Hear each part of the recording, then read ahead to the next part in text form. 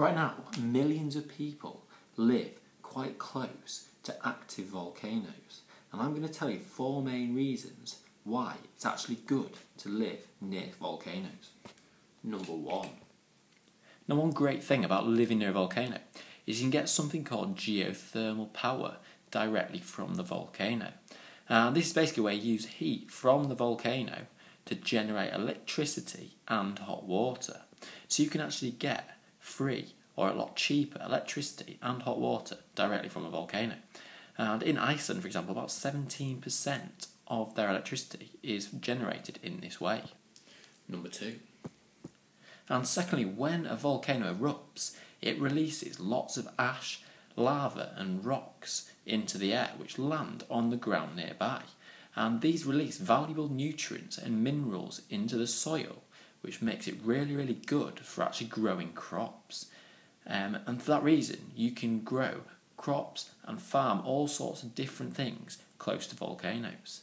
Um, an example of this is in Italy, where the slopes of Vesuvius are used for things like orange trees and that sort of product. Number three.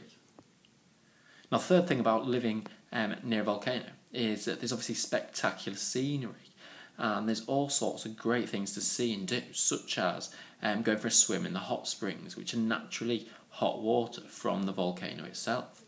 And another good thing is that if you live near a volcano, you could actually get um, your job or get some income from lots of tourism that um, is found near to volcanoes. For example, you could own a hotel or sell souvenirs or be a tour guide. Um, and this is a big deal in Yellowstone National Park in the USA, where about 3 million visitors visit a year. And finally, and finally, lots of valuable minerals, um, including gold and silver, can be found near to volcanoes. Um, so there's a good chance you can actually get some valuable materials and potentially make money from them. Um, and copper is a good example of a valuable material that's mined near volcanoes in Chile.